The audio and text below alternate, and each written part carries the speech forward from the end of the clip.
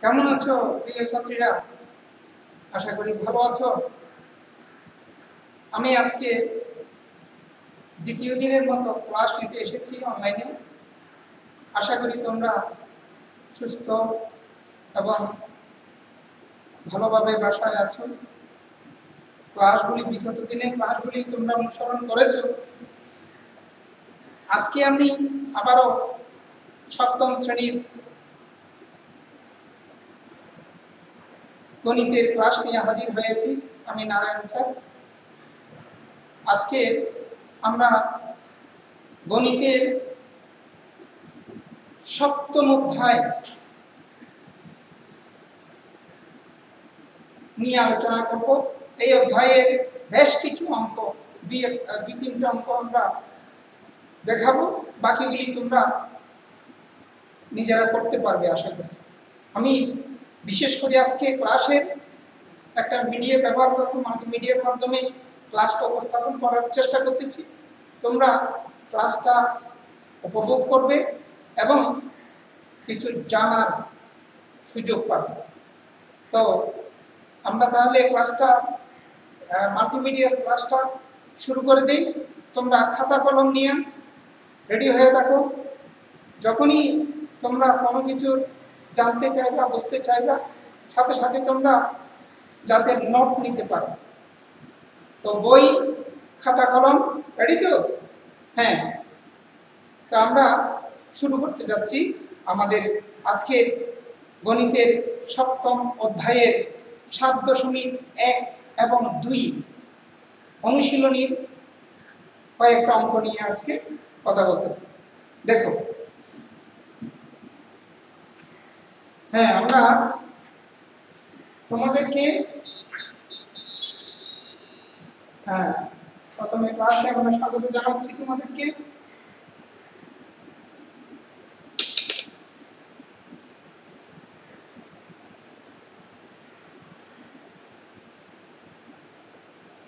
Narayan sir, তোমাদেরই সরকারি সরকারি বালিকা উচ্চ বিদ্যালয়ের সহকারী শিক্ষক।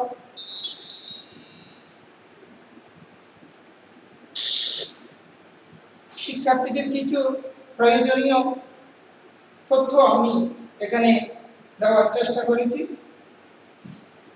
তুমি তোমার স্কুল ডায়েরি নিয়মিত ব্যবহার করবে, পরিচ্ছন্ন পোশাক পরিধান করবে বাসে উঠতে এবং নামতে তাড়াহুড়ো করবে না।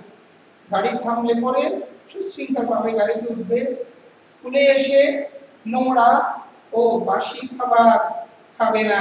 যেটা আমরা তোমাদেরকে প্রতিনিয়ত বলে থাকি।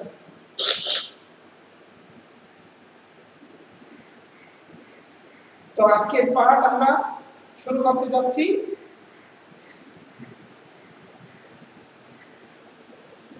গণিতের সপ্তম অধ্যায়ের অনুশীলনী সাত দশমিক এক সরল সমীকরণ।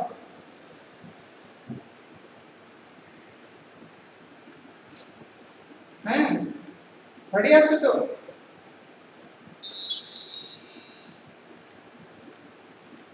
এই চ্যাপ্টারটা থেকে তোমরা জানতে পারবে। কি জানতে পারবে? সমীকরণের পক্ষান্তর বিধি, বর্জন বিধি, আরোহণ বিধি এবং প্রতিসাম্য বিধি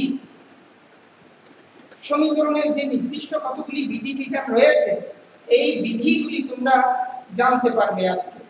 এই পাঠ থেকে। আর জানতে পারবে, এই বিধিগুলি জানার পরে এইগুলি কীভাবে সমীকরণে প্রয়োগ করে সমাধান করা যাবে, এই বিষয়গুলি জানতে পারবে।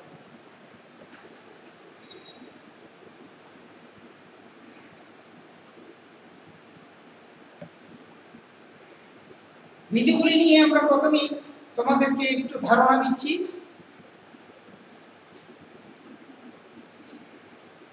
প্রথমে সমীকরণ সহযোগে বিধিগুলির প্রয়োগ বোঝার চেষ্টা করতেছি। প্রথমে আসতেছি সমীকরণ কি? এর উত্তরটা কি? সমীকরণ কি? প্রক্রিয়া চিহ্ন ও সমান চিহ্ন সম্বলিত গাণিতিক বাক্যকে সমীকরণ এখানে 5x 3 is equal to 2x plus 3 এটা সমীকরণ। এখানে দেখা যাচ্ছে হ্যাঁ বুঝতে চেষ্টা করো। এখানে কি কি দেখাচ্ছে? প্রক্রিয়া চিহ্ন দেখাচ্ছে, সমান চিহ্ন দেখাচ্ছে। তাহলে প্রক্রিয়া চিহ্ন, সমান চিহ্ন সম্বলিত গাণিতিক বাক্য। এখানে গণিতের কিছু অংশ রয়েছে, যেমন এই যে ফাইভ আছে এক্স আছে থ্রি আছে টু আছে, এইগুলো হচ্ছে গাণিতিক সংখ্যা। এই গাণিতিক সংখ্যার সাথে চিহ্ন এবং সমান চিহ্ন সহযোগে একটা সমীকরণ এখানে গঠন করা হয়েছে। এই ধরনের প্রক্রিয়া চিহ্ন, সমান চিহ্ন সম্বলিত গাণিতিক বাক্যকে সমীকরণ বলা।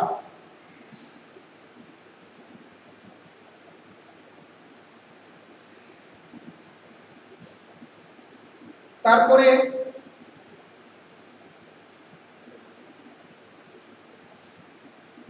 পক্ষান্তর বিধি। সমীকরণের অত্যন্ত প্রয়োজনীয় এবং তাৎপর্যপূর্ণ একটি নিয়ম বিধি। পক্ষান্তর বিধি। সমীকরণের কোন সমীকরণের যে কোনো পদকে এক পক্ষ থেকে প্রক্রিয়া চিহ্ন পরিবর্তন করে অপর পক্ষে সরাসরি স্থানান্তর করা যায়। এই স্থানান্তর প্রক্রিয়াকে পক্ষান্তর বিধি বলে।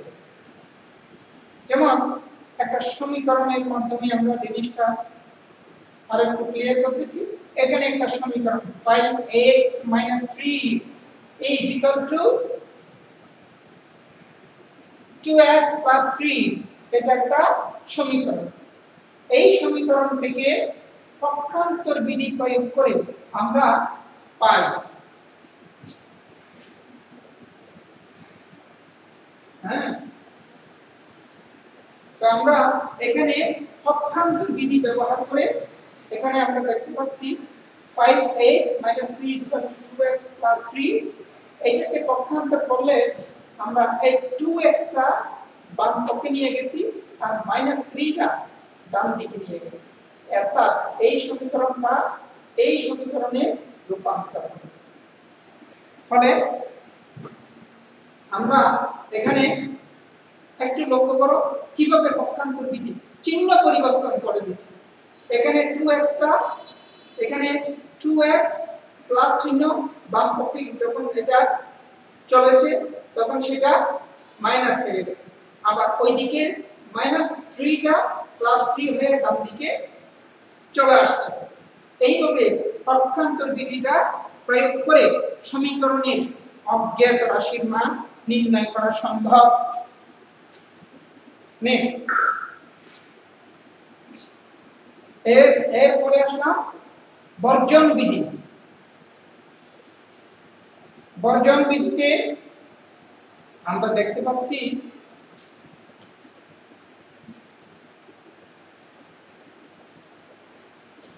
যোগ বা বিয়োগের অর্জন বিধি কোন সমীকরণের উভয় পক্ষ থেকে একই চিহ্নযুক্ত সদৃশ পদ সরাসরি বর্জন করা যায় মানে বাদ দেওয়া যায়। একে যোগ বা বিয়োগের বর্জন বিধি বলে। কি বলছে?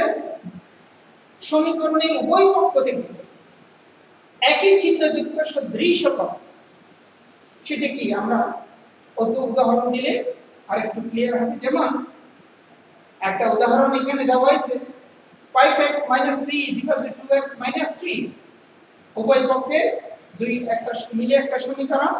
এখানে সদৃশ পদ বলতে কি বুঝতেছি? একই চিহ্নযুক্ত এবং সদৃশ পদ অর্থাৎ মাইনাস থ্রি বাম দিকেও আছে মাইনাস থ্রি ডান দিকেও রয়েছে। কাজেই এখানে উভয় পক্ষ থেকে মাইনাস থ্রি মাইনাস থ্রি বর্জন করা হয়েছে, বাদ দেওয়া হয়েছে। বাদ দিয়ে আর থাকল এখানে ফাইভ এক্স এখানে টু কাজেই সমীকরণের এই মানে এই ধরনের ক্ষেত্রে সমীকরণের বর্জন বিধি প্রয়োগ করা হয়। এরপরে আসলাম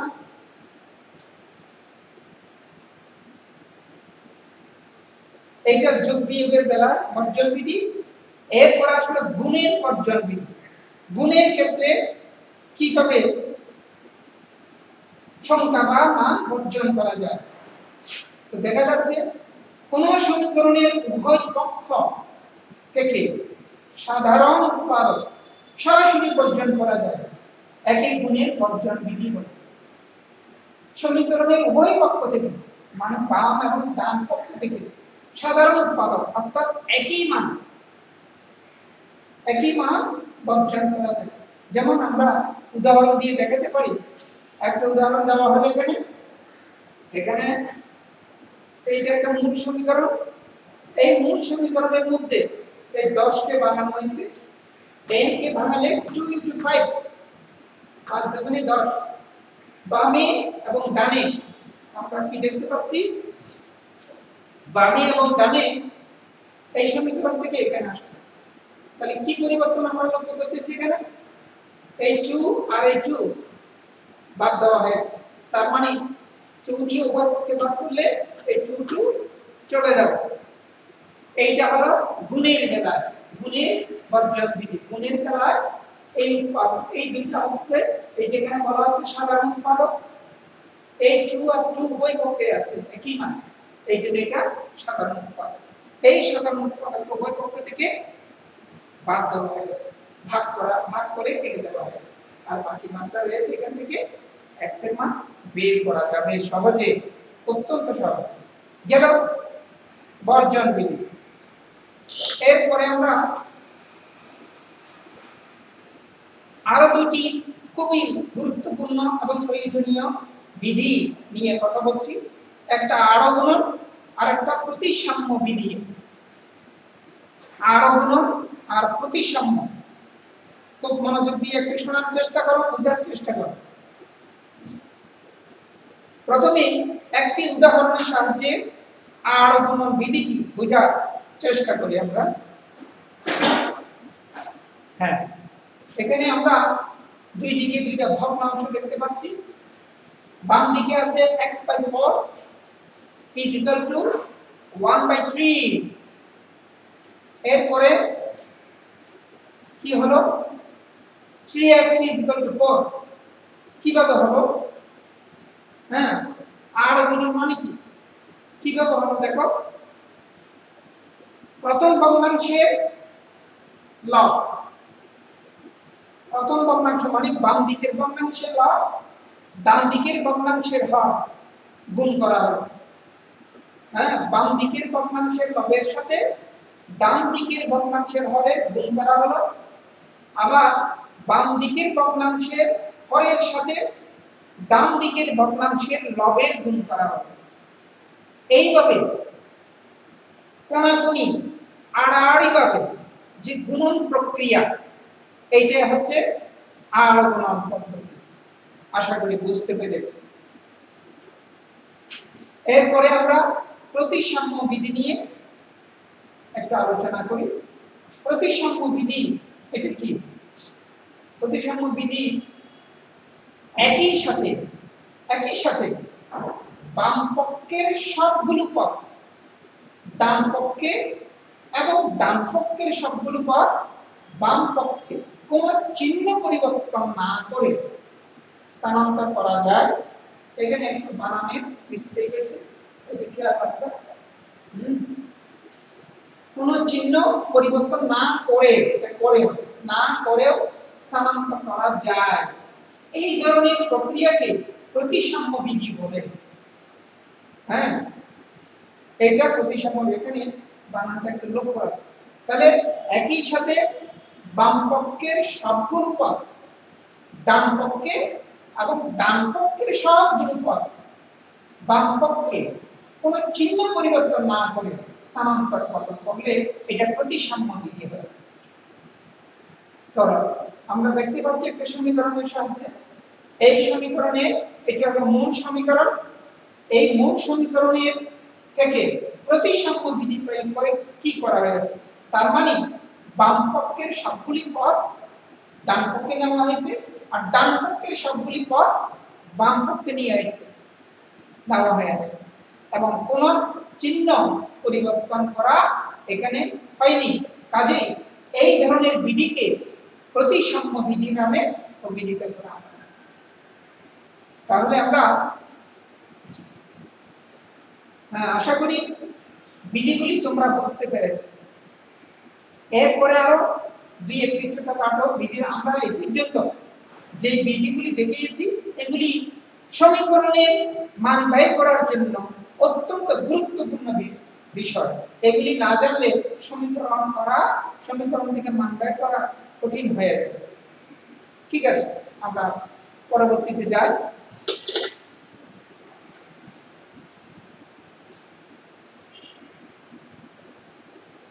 কি আছে?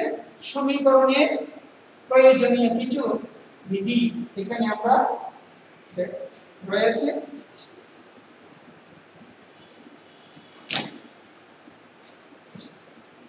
হ্যাঁ। যোগের বিনিময় বিধি। যোগের বিনিময়। যোগের বিনিময় বিধিটা কীরকম দেখো? বাম পক্ষে আছে এ প্লাস বি ডান পক্ষে সেটা বি প্লাস এতে মানের কোনো পরিবর্তন হয় না। তার মানে এ এবং বি এর হ্যাঁ? এ এবং বি এর যে কোনো মান ধরলে এখানে বাম পক্ষের মান এবং ডান পক্ষের মানের কোনো পরিবর্তন হওয়ার সুযোগ নাই। এইটা হলো বিনিময়। তার মানে একটা একটা জায়গায় আরেকটা একটু বিনিময় করা হয়েছে। এ প্লাস বি এর জায়গায় বি প্লাস এ লেখা হয়েছে। দুটোটার মান সমান হবে।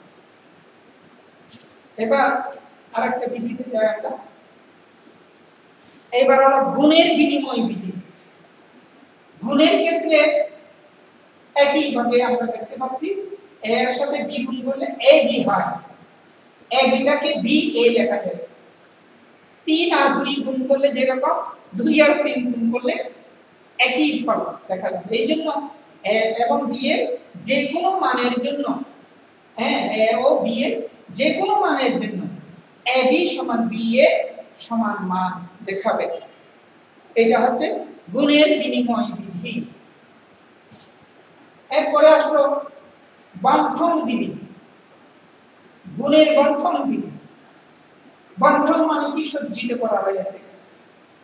কীভাবে মানটাকে প্রয়োজন মতো, সুযোগ সুবিধা মতো আমি সাজিয়ে সমীকরণ উপস্থাপন করতে পারি। লক্ষ্য করো, এখানে এবং বি এর যে কোনো মান ব্যবহার যে কোনো মান যদি আমরা ধরি, তাহলে দেখা যাবে A into B plus C কীভাবে পড়ব বুঝতে পারছ? এ ইন্টু এখানে কি আছে? A into B plus C is equal to A দিয়ে যদি আমরা গুণ করি ব্র্যাকেট উঠাইয়া দেই, তাহলে মানটা হয় A B plus A C A B plus A C আবার এটাকে ডান পক্ষে নিয়ে এখানে লেখা হয়েছে। ওই এটাকে বাম পক্ষে লিখলে যেরকম মান আসবে এটাকে এইখানে বাম পক্ষে না লিখে ডান পক্ষে লিখলে একই মান আসবে। এইটাকে যদি এ দি, এ দিয়ে, এখানে যেমন এ দিয়ে এটাকে গুণ বোঝাচ্ছে, এখানেও এ দিয়া দুইটা এ দ্বারা দুইটাকে গুণ বোঝাচ্ছে। তাহলে গুণ করলে পরে আমরা কি পাই? B A plus C A. এটি B A plus C A, B A plus তাহলে এইভাবে মানগুলিকে আমরা আমাদের যে কোনো ভাবে অঙ্কের প্রয়োজনে এভাবে বন্টন করে নিতে পারি। এই B plus C is equal to এটা দিয়ে গুণ করলে এটা আবার এটা এ- এটা যদি লিখে নিই বি দিয়ে গুণ করলাম। B A plus C A এটা এ দিয়ে গুণ করলে A B plus A C হয়।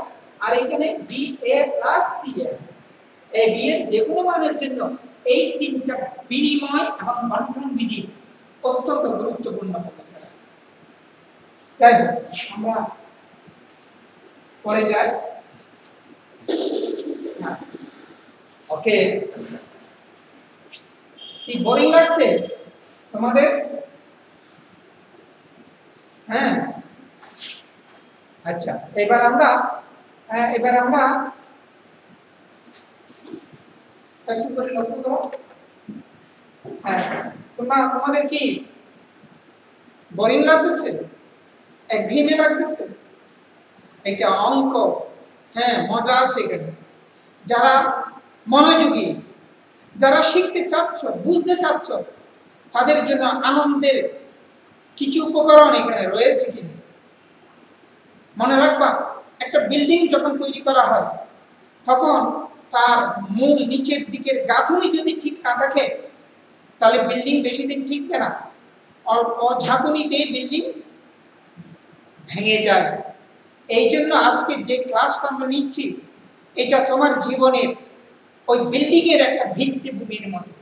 তুমি যদি এইগুলিকে হজম করতে পারো, পরবর্তী জীবনে, পরবর্তী ক্লাসে তোমার জন্য এগুলি অত্যন্ত হেল্পফুল হবে। তোমাকে সহযোগী হিসেবে কাজ করবে, তোমার মেধার সমৃদ্ধি ঘটাবে। আমরা এতক্ষণ ধরে যে বিধিগুলি নিয়ে আলোচনা করেছি, এগুলি তোমার জীবনের পরবর্তী ক্লাসে যখন তুমি পাড়ি দিবা, তখন এই এই বিষয়গুলি তোমার প্রতিটি কাজে তুমি অনুভব করো। হ্যাঁ এবার এই যে এতক্ষণ ধরে আমরা যে বিধিগুলি নিয়ে কথা বলেছি, মনে আছে কি কি বিধি? বলতে পারো? চোখ বন্ধ করে বলতে পারো? চিন্তা করো তো। হ্যাঁ আমরা প্রথমেই কি দেখাইছি এক নম্বরে পক্ষান্তর বিধি, তারপর দিছি আরও গুণন বিধি। পক্ষান্তর বিধি, আরও গুণন বিধি, তারপর দিয়েছি আমরা প্রতিসাম্য বিধি। এক পক্ষগুলি আর এক পক্ষে নিয়েছি, এই পক্ষগুলি এই পক্ষে নিয়েছি। তারপর দিয়েছি বর্জন বিধি। বর্জন বিধি দুইভাবে আমরা দেখিয়েছি। একটা হচ্ছে যোগের ক্ষেত্রে বর্জন বিধি, যোগ বিয়োগের ক্ষেত্রে, আর একটা হচ্ছে গুণের ক্ষেত্রে বর্জন বিধি। হ্যাঁ ক্লাসটি বারে বারে দেখবা, বুঝার চেষ্টা করবা। এইবার আমরা এই যে বিধিগুলি, এরপরে আমরা কতগুলি বিনিময় বিধি দেখিয়েছি। হ্যাঁ একটা যোগ বিয়োগের ক্ষেত্রে বিনিময় বিধি দেখিয়েছি, আর একটা গুণের ক্ষেত্রে বন্ঠন বিধি দেখিয়েছি। এই ধরনের বিধিগুলি দিয়ে এখন আমি কিছু অঙ্ক করব। তোমরা এবার খাতা কলম নিয়ে রেডি থাকো ওকে হ্যাঁ।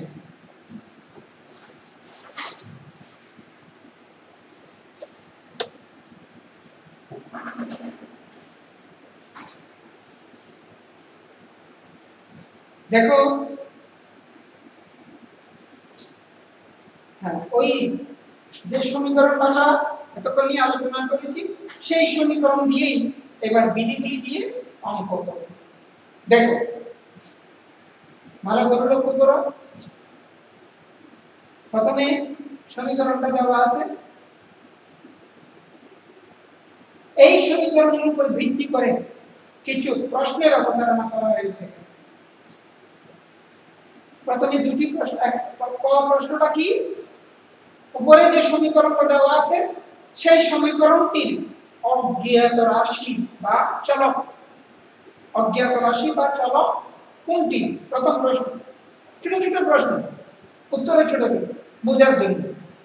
তারপর দ্বিতীয় প্রশ্নে আছে, সমীকরণটির প্রক্রিয়া চিহ্ন কোনটি? তারপর তোমরা লক্ষ্য করো, গ নম্বরে আরেকটি প্রশ্ন দেখা যাচ্ছে, সমীকরণটি সরল সমীকরণ কিনা। বিভিন্ন ধরনের সমীকরণ আছে। সরল সমীকরণ, দ্বিঘাত সমীকরণ, এই ধরনের উপরে গেলে জটিল জটিল কিছু সমীকরণ পাবে। এখানে যে সমীকরণটি আমরা উপস্থাপন করেছি, সেই সমীকরণটি সরল সমীকরণ কি না তার কি বৈশিষ্ট্য? এরপরে আমরা আরেকটি প্রশ্ন লক্ষ্য করতেছি, এই সমীকরণটির মূল কত? তার মানে x এর মান কত?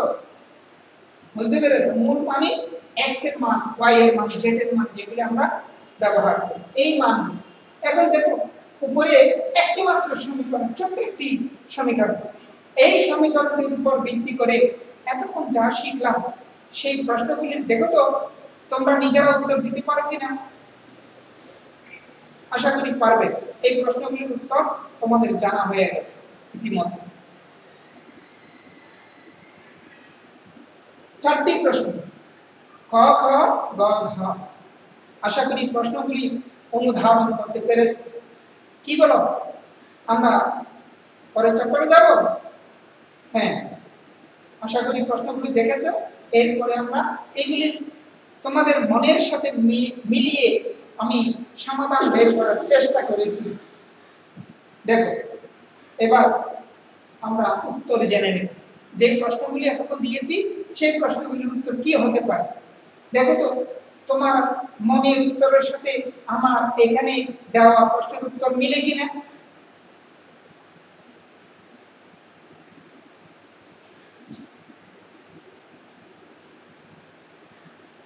প্রথম প্রশ্নটি কি ছিল? প্রদত্ত যে সমীকরণ ছিল, সেই সমীকরণটির অজ্ঞাত রাশির চলক কোনটি? তাহলে এখানে উত্তরটা কি পেলে? চলক হচ্ছে যে এক্স আশা করি তুমি তোমার উত্তরের সাথে আমার উত্তর মিলেছে, তাই না? পরের প্রশ্ন যায়। প্রক্রিয়া চিহ্ন। প্রশ্ন ছিল, এই সমীকরণটির প্রক্রিয়া প্রক্রিয়া চিহ্ন কোনটি? এখানে দুটো চিহ্ন আছে, একটা প্লাস আর একটা মাইনাস এই দুটি হচ্ছে সমীকরণের প্রক্রিয়া চিহ্ন। তাই না? পরের প্রশ্নে যায়। হ্যাঁ। প্রশ্ন ছিল কি? এটি সরল সমীকরণ কি না? হ্যাঁ এটি একটি সরল সমীকরণ। এটার বৈশিষ্ট্য কি? এটি এক ঘাত বিশিষ্ট সমীকরণ। এক ঘাত ঘাত বলতে কি বুঝি? তোমরা ইতিমধ্যে জেনে গিয়েছ পঞ্চম অধ্যায়তে, তাই না? পঞ্চম অধ্যায় তোমরা হয়তো করে ফেলেছো। পঞ্চম অধ্যায়তে বিশেষ করে সূত্রগুলি শেখানো হয়। সেখানে A plus A plus B whole square এই স্কোয়ার এগুলো হচ্ছে ঘাত বা পাওয়ার কোন মানের উপর যে পাওয়ার গুলি থাকে ওগুলিকে ঘাত বলে। যেহেতু এখানে চলকটা এক্স এক্সের উপরে সমীকরণের কোনো পাওয়ার নেই, কাজে এটি এক ঘাত বিশিষ্ট সমীকরণ। তাই না? পরের প্রশ্নের উত্তর বুঝি।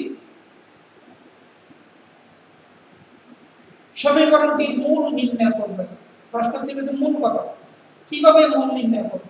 এই মূলগুলি নির্ণয় করতে গিয়ে, মূল নির্ণয় করতে গিয়ে আমরা যে বিধিবিধানগুলি এখন দেখিয়েছি, সেটা প্রয়োগ করে। লক্ষ্য করো। দ্বিতীয় লাইনে লক্ষ্য করো। মনে আছে, এক নম্বর বিধি পক্ষান্তর বিধিটা প্রয়োগ করা হয়েছে প্রথমে। এখানে মূল বের করতেছি। হ্যাঁ? আমরা কি করেছি? ডান দিকে 2x সেটা বাম পক্ষে চিহ্ন পরিবর্তন হয়ে বসে গেছে মাইনাস টু এক্স আবার বাম পক্ষের মাইনাস থ্রিটা হ্যাঁ বাম পক্ষের মাইনাস কোথায় গিয়েছে? ডান পক্ষে চিহ্ন পরিবর্তন হয়ে বসে গেছে। তার মানে এই এই টু এক্সটা গেছে এখানে থ্রি আসছে এইখানে। তাহলে এটা পক্ষান্তর হলো। পক্ষান্তরের বৈশিষ্ট্যটা কি? চিহ্ন পরিবর্তন করা। ওই যে মাইনাস থ্রিটা প্লাস থ্রি হয়ে গেছে। ওই প্লাস টুটা মাইনাস টু হয়ে গেছে। এই ক্ষেত্রে চিহ্ন পরিবর্তন করে আমরা পক্ষ পরিবর্তন করেছি। আচ্ছা। তারপর লাইনে এবার কি করেছি? যোগ বিয়োগ করেছি। বাম পক্ষে বিয়োগ করা হয়েছে। 5x থেকে 2x মাইনাস করলে 3x হয়। ডান দিকে অ্যাড করা হয়েছে প্লাস প্লাস প্লাস করা হয়েছে 3 3 6 তার মানে 3 plus 3 is equal to 6 next এবার x সমান কত তাহলে x সমান আসলো 3 দিয়ে ভাগ করব মানটা। 3 দিয়ে ভাগ করলে মানটা আসবে কত? 2 3 দিয়ে 6 কে ভাগ করলে x এর মান 2 সুতরাং আমরা কি দেখতে পাচ্ছি? সুতরাং সমীকরণটির মূল হচ্ছে 2 আশা করি বুঝতে পেরেছি তাহলে তিনটি প্রশ্নের উত্তর অত্যন্ত সাধারণ কিন্তু গুরুত্বপূর্ণ। খুব হ্যাঁ। এরপরে আমরা যাই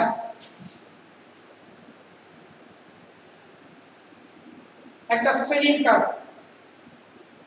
তোমরা ক্লাসে আছো তো? হ্যাঁ আমার সাথে লিঙ্ক থাকো মানে ক্লাসে থাকো। সেই জন্য ক্লাসে থেকে এতক্ষণ ধরে আমি যে ক্লাসটা নিলাম, এইটার উপরে একটা কাজ অঙ্ক করো তো দেখি নিজেরা, এই এই কাজটা করো। নিজেরা করো, আমি কাজটা দিলাম। এই যে, লক্ষ্য করো, একটা সমীকরণ দেওয়া হয়েছে।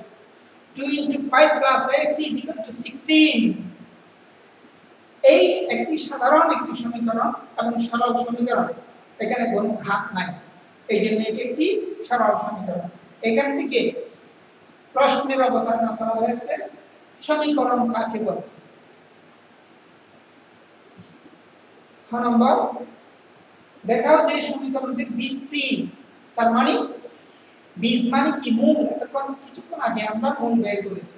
মূল বীজ একই কথা এক্সের মান বের করতে হবে। তারপর গ নম্বর। 2x 1 is equal to 0 এই সমীকরণটি যে x আছে, x এর ঘাত ঘাত। একটু আগে আলোচনা করি যে ঘাত কি?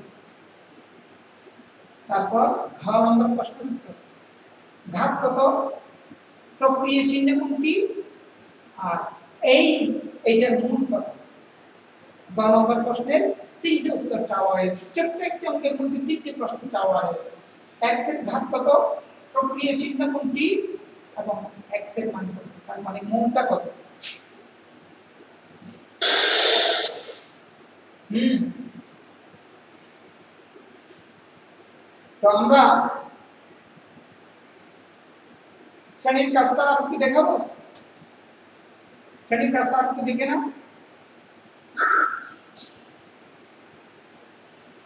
প্রশ্নগুলি দেখো, খেয়াল করো।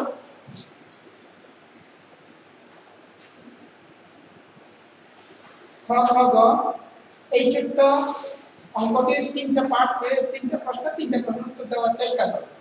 ঠিক আছে, আমরা পরে যাই হ্যাঁ এবার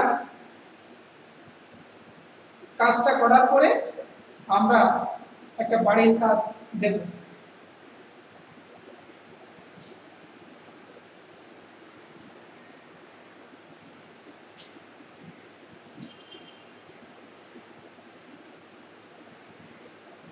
বাড়ির কাজ কি? অনুশীলনী সাত দশমিক এক। খুলেছ বইগুলো সবাই? বইগুলো? সাত দশমিক এক অথবা নোট করো।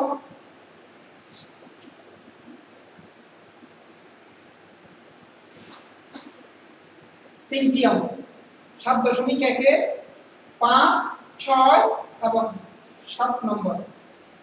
এই তিনটি নিজেরা বাসায় বসে পড়তে থাকো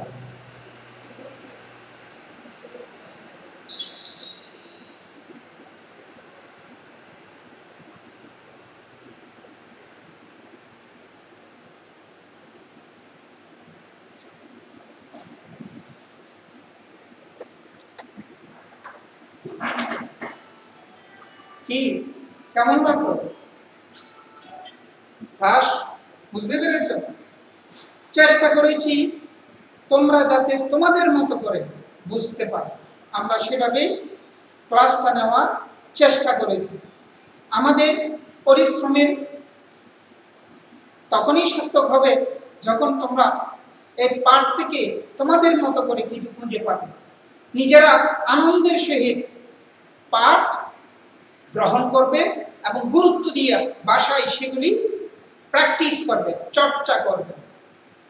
তো আজকে আর একটা ক্লাস কি আমি নেব? কি বলো? তোমাদের ধৈর্য আছে? হ্যাঁ আমরা বেশিক্ষণ সময় লাগবে না। আর একটি আমি ক্লাস দেখাবো, তাও সমীকরণে। তো এই ক্লাসটা শেষ করে আমরা পরবর্তী ক্লাসটা অত্যন্ত পাঁচ মিনিটের মধ্যে, পাঁচ থেকে ছয় মিনিটের মধ্যে শেষ করবে। তোমরা পাঁচ, ছয় মিনিট একটু ধৈর্য দেবো কেমন? ওকে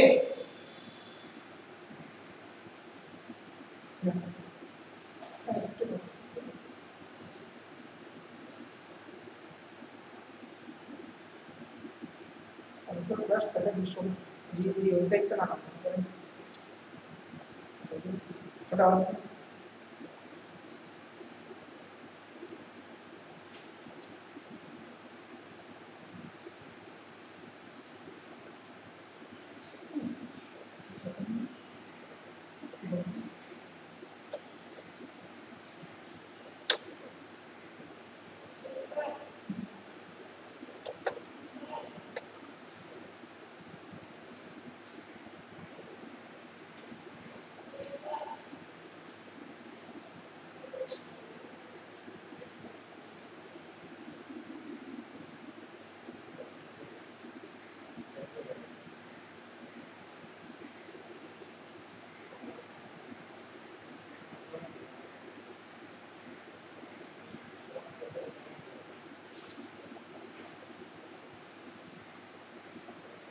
হ্যাঁ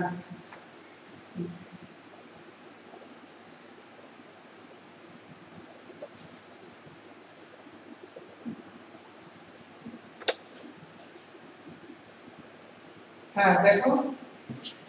আরেকটি ক্লাস আমরা দুই চার মিনিটে শেষ করব, আশা করছি। তো আমি লক্ষ্য করো ক্লাসটা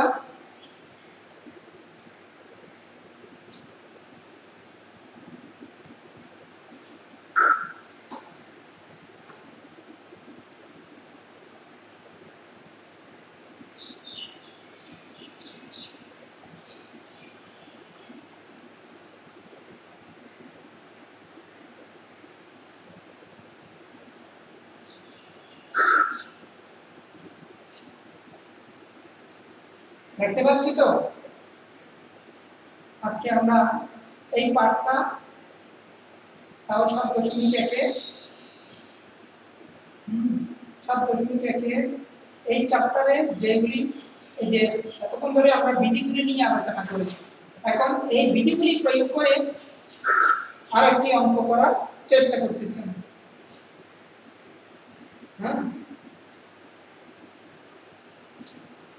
একদম। সরাসরি আমরা অঙ্কটা দেখালে এখানে বিধি প্রয়োগ করা হয়েছে। একটা পুরো অঙ্ক দেখানো হয়েছে। একটা সমীকরণ দেওয়া হয়েছে। একটু লক্ষ্য রাখো, লক্ষ্য করো।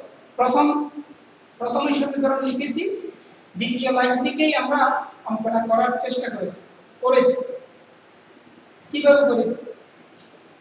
এর আগে যে অঙ্কটা দেখাইছি, এটা একটা সরল। সমীকরণের এইটা একটা ভগ্নাংশ ভিত্তিক অঙ্ক ভগ্নাংশ ভিত্তিক সমীকরণ। ভগ্নাংশ থাকলে আর গুণন করে এটা সরল ভগ্নাংশ করা যায়। কীভাবে করি আমরা লক্ষ্য করা? প্রথমে বিয়োগের কাজ করেছি। 3 এবং 6 এর লসাগু করেছি। 3 এবং 6 এর লসাগু 6 তাই না? তোমরা তো যদি এই ধরনের ছোট পাঠা, আর যদি বিয়োগগুলি জানো। তারপর 3 দিয়ে ভাগ করে 2 পাইছি 2 দিয়ে গুণ করলে 2 z 4 z 2 দিয়ে গুণে 4 4 z 4 is equal to এত। 3 by minus 3 by 4 next minus করা হয়েছে মাইনাসের কাজ করা হয়েছে। 4 z থেকে করা হয়েছে। থাকল কি? 3 z ডান দিকের মান যথাযথ বসে গেছে। এর পরের লাইনে এসে আর গুণন বিধি প্রয়োগ করা হয়েছে।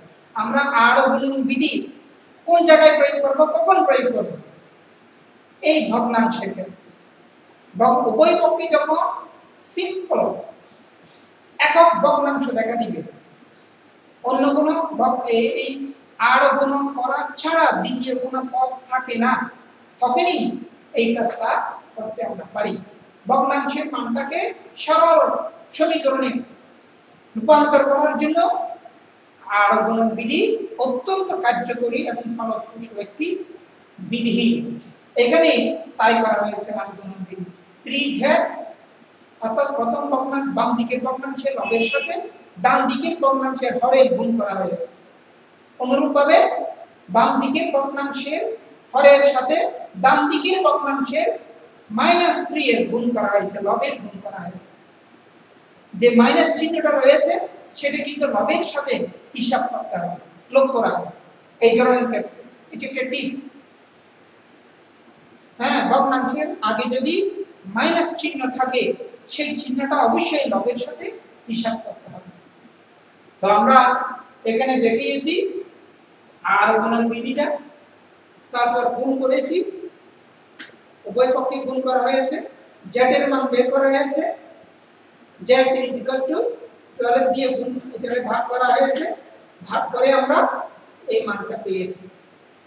তাহলে এটাই এই সমীকরণের একটা ভগ্নাংশ ভিত্তিক অঙ্কের কীভাবে এই সমীকরণের বিধিগুলি প্রয়োগ করে আমরা কীভাবে একটা মান বের করতে পারি অত্যন্ত সহজভাবে। সেই নিয়মটা এখানে দেখানো হয়েছে।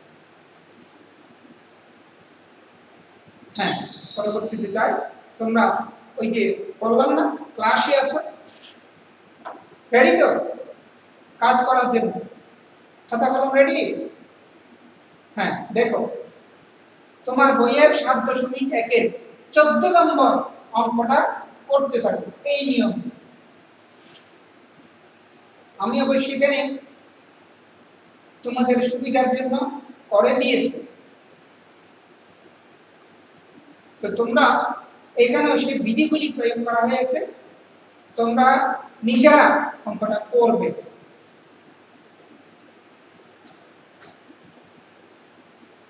হ্যাঁ এরপরে আমরা এই আরেকটি পালের কাজ নিয়ে যাচ্ছি। তোমরা বসে বসে বসায় নিরাপদে, নির্বিঘ্নে অঙ্কগুলি করবে। কত? তেরো ষোলো, উনিশ। সাত দশমিক এক অনুশীলনী তেরো, ষোলো, উনিশ নম্বর অঙ্ক বাড়ির কাছ থেকে এগুলি করবে একটু আগে অঙ্ক দিয়েছি তিন তার সাথে। মোট ছয়টি অঙ্ক দেওয়া হয়েছে। ওকে?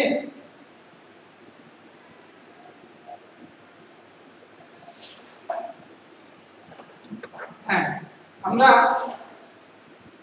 আজকের মতো ক্লাস শেষ করতে যাচ্ছি। তোমরা অলসভাবে বসে থেকেও না। আমরা তোমাদেরকে নিয়ে নানা রকম আমাদের সাধ্য মতো চেষ্টা চালিয়ে যাচ্ছি, যাতে তোমাদেরকে কিছু এই করোনাকালীন সময়ে কিছু দিতে পারে। কিন্তু আমরা দিলে তো হবে না, তোমাদের চেষ্টা থাকতে হবে। তোমরা যারা ক্লাসগুলি দেখবা, কিছু না বুঝলে আমাদের, তোমাদের কাছে ডায়েরি দেওয়া আছে ওই ডায়েরিতে প্রত্যেকটি স্যারের নাম্বার দেওয়া আছে মোবাইল নাম্বার প্রয়োজনে তোমরা পার্সোনালি নম্বর দিয়ে পার্সোনালি স্যারের সাথে যোগাযোগ করবা। যোগাযোগ করে তোমার জানার বিষয় জেনে নিবা।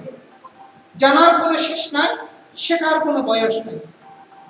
তো তোমরা এই করোনাকালীন সময়ে, এই বন্ধের সময়ে স্কুল সরকারি নির্দেশ মোতাবেক যখনই স্কুল খোলা হবে, তখনই স্কুলে আসবে।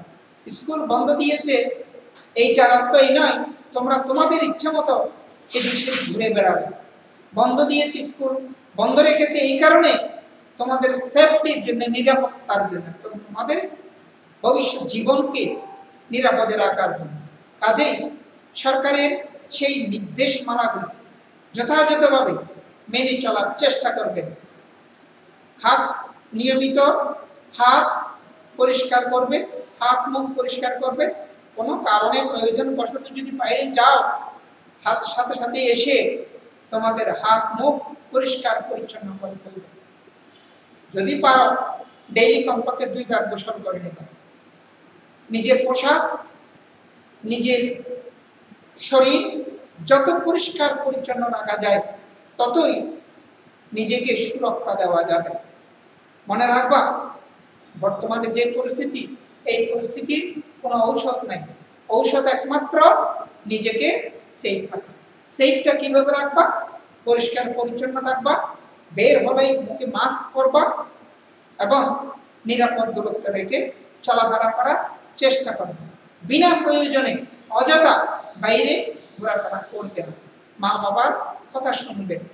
বাসায় বসে অযথা টিভি, মোবাইল ঘেটে ঘেটে সময় নষ্ট করবে না। সময় অত্যন্ত চলমান। অনেক সময় অতিবাহিত হয়ে গেছে। যাই হোক, তোমরা ভালো আছো, ভালো থাকো। এই কামনা করে আসছি বিদায় নিচ্ছি। আমি নারায়ণ দোয়া রাখি।